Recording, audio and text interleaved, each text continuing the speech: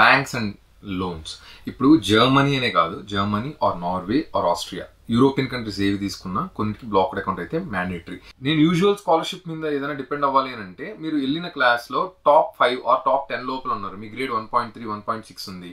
అప్పుడు last semester కొన్ని universities ఇస్తాయి అన్ని యూనివర్సిటీస్ ఇవ్వ. ఆ కొన్ని యూనివర్సిటీస్కి మీరు వెళ్ళి మీ ఇంటర్నేషనల్ ఆఫీస్లో ఇట్లా మాస్టర్స్ చదువుతున్నాను థీసీస్ చేస్తున్నాను నేను పార్ట్ టైం చేయలేను. ఎనీ స్కాలర్షిప్స్ ఆర్ అవైలబుల్ అని మీరు అడిగితే ఖచ్చితంగా మీకు స్కాలర్షిప్స్ ఏమేమి అవైలబుల్ ఓన్లీ ఫర్ థీసీస్ టైంలో ఇస్తారు.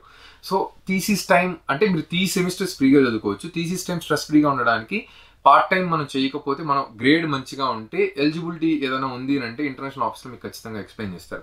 అంటే స్కాలర్షిప్ బ్యాంక్ లోన్ గురించి ఎందుకు ఎక్స్ప్లెయిన్ చేశానంటే మినిమం మనం వెళ్ళాలి అంటే బడ్జెట్ మన దగ్గర ఎంత ఉండాలి అని అంటే ప్రాసెసింగ్ చేసుకోవడానికి minimum seventy to eighty without any mentor or consultancy fees లేకుండా జర్మనీకి అయితే మీకు సెవెంటీ థౌసండ్ అయితే ఖర్చు అవుతుంది.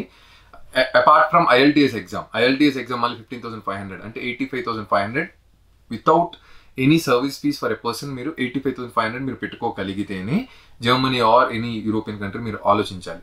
ఎందుకు? అపస్టిల్ ఇక్కడ మీకు నార్వే ఆర్ ఆస్ట్రేలియా ఏముంటుందంటే అపస్టిల్ అని ఉంటుంది ఇక్కడ ఏపీఎస్ అని ఉంటుంది. ఇక్కడ అక్కడ కంపారిజన్ ఇక్కడ ఎయిటీన్ థౌసండ్ అవుతుంది ఇక్కడ twenty two twenty three thousand అవుతుంది సో యూరోపియన్ కంట్రీస్లో ఆల్మోస్ట్ ఫార్ములా అయితే ఒకటే ఉంటుంది.